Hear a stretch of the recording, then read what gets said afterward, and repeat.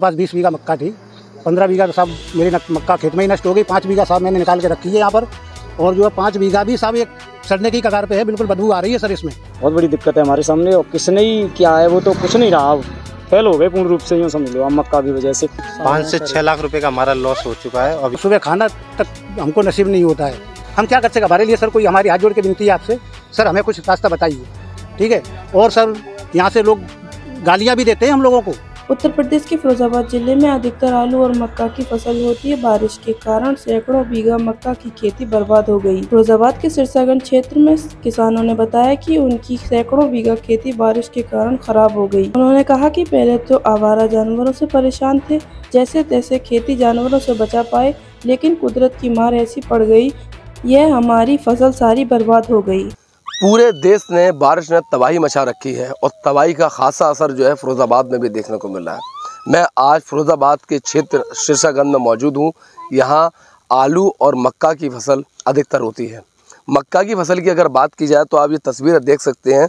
मैं आपको ये तस्वीरें दिखा रहा हूँ कि यहाँ जो है मक्का पूरी तरीके से यहाँ के आसपास के जो खेत हैं, वो ख़राब हो रही है। ये देखिए, यहाँ लगातार बारिश से जो है पूरी तरीके से मक्का जो की फ़सल जो है बर्बाद हो गई है, ये पूरी तरीके से सड़ रही है। यहाँ के जो खेत के लोग हैं, जो काम करने वाले लोग हैं और यहाँ तक के जो किसान हैं, वो कुछ मेरे साथ मौजूद हैं, क्योंकि उन्होंने कितनी मेहनत करके इसको, खेत को सजाया था और उसके साथ साथ दो पैसे के फ़ायदे के लिए अपने मक्का की फ़सल जो बोई थी। लेकिन ये तस्वीरें आपको बयां कर रहे हैं कि बारिश का जो खासा असर है, फिरोज़ाबाद में देखने को मिला। मेरे साथ यहाँ कुछ लोग मौजूद हैं, उनसे बात करते हैं कि आखिरकार ये कितने बीघे का क्षेत्र था और कितना नुकसान आपका हुआ होगा? क्या नाम है आपका? सर मेरा नाम अश्विनी तोमर है। जी। और ये पचास साठ बीघा खेत हमारा खुद का है। जी। तो पूरे खेत में मका बारिश इतनी हुई कि खेत भर गए पानी से और ये मका भी जमने लगी तो बहुत नुकसान है हम लोगों का। टोटल यहाँ से वहाँ तक पूरा ही मका पूरी ख़राब हो चुकी है। पहले तो गायें नहीं होने देती गाय इतनी ढिली हुई हैं और गाय के अलावा फिर ये मका जो हुई अब बारिश ने पूरा रिको कर दिया तो बारिश से पूरी मका ख़राब हो गई। अब ये जम जमी हुई है मका आप देखो अच्छा क्या होता है कितने समय से यहाँ बारिश हो रही है? लगभग सर पंद्रह पंद्रह बीस दिन हो गए जो सबसे ज़्यादा हुई है।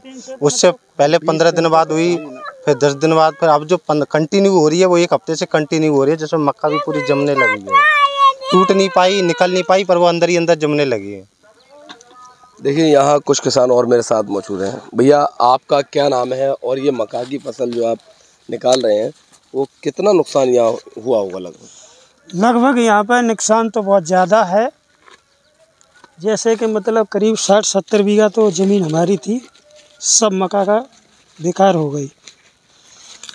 और अब ये क्या बिकेगी ये तो सब बेकार है। बारिश की वजह से आड़ियाँ भी नहीं निकाल पाई खेत से पानी भर गया खेतों में। देखिए एक बार वो तस्वीरें मैं आपको दिखाता हूँ ये इस तरीके से ये छील रहे हैं। तो आप उसको देखिए इसके बक्कल के ऊपर।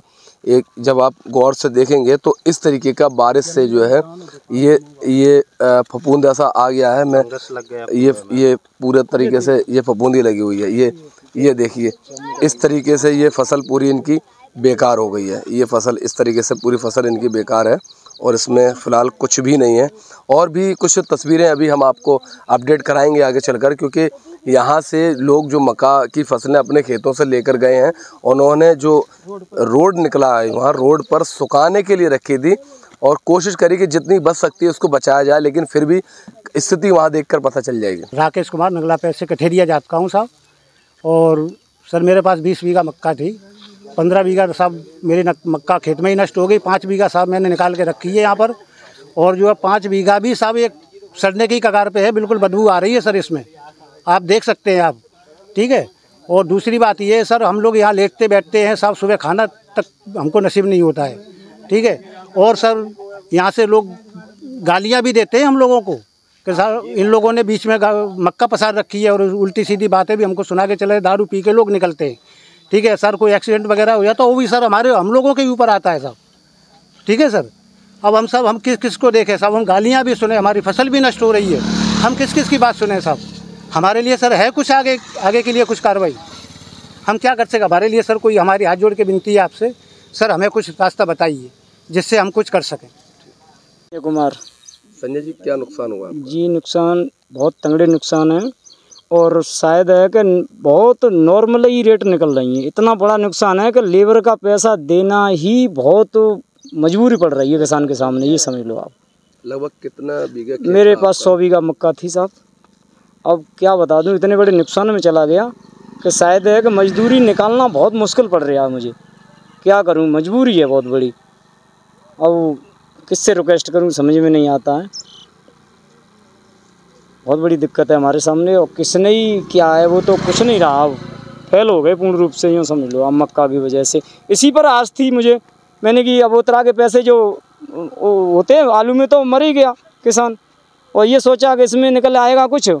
इसमें ही रियायत मिलेगी, साली पूरी ही बर्बाद हो गई फ़सल, कुछ नहीं बचने वाला है। मक्का कुछ है भी, आधी जमे आई है, उसके बाद भी ये पड़ी है, ये भी रंग तोड़ गई साली, दो पैसे में बूझ नहीं रहा कोई।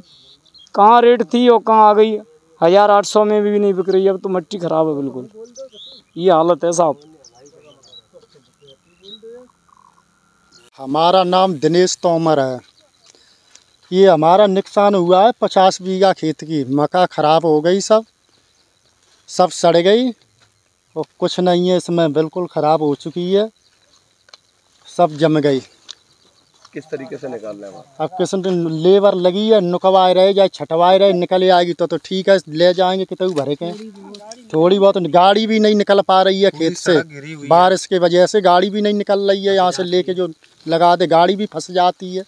खेत में बारिश इतनी हो रही है सब मका टोटल ख़राब है ही वो तो। नाम अश्विनी तोमर है और मेरी पचास से साठ बीघा मका पूरी पानी की वजह से ख़राब हो चुकी है। ये पूरी मका जम भी रही है अब इन्हें निकालने में काफ़ी प्रॉब्लम हो रही है। पहले तो गाय नहीं छोड़ती और गाय के अलावा जब हुई तो बारिश की वजह से पूरी मका ख़राब हो गई इसमें काफ़ी हमारा लॉस हो गया। लाख का नुकसान पाँच से छः लाख रुपए का हमारा लॉस हो चुका है अभी भी पूरी फैमिली लगी हुई है और अभी देखो क्या होता है आगे बिकती क्या नहीं बिकती क्या रेट बिकती है पता नहीं अभी। तो इसका आप क्या कर रहे हैं किस तरीके से निकाल रहे हैं? अब सर ऐसे ही निकालने हैं छिलके उसके बाद देखते हैं मशीन से अगर मौसम बचा तो उसे कुटवा लेंगे। फिर जो रेट हो अब बेचना तो पड़ेगा ही जिस रेट में जो निकलती है वो। देखते हैं उसके कितने परसेंट सही निकल सकती है? परसेंट से देखा जाए तो कम से कम तीस परसेंट मका सही है बाकी सत्तर परसेंट पूरी मका हमारी ख़राब हो गई। जम रही है ये तो कोई काम की नहीं है। चारों तरफ़ आप देख सकते हो आपके सामने पूरा डला हुआ है पूरी लॉस टोटल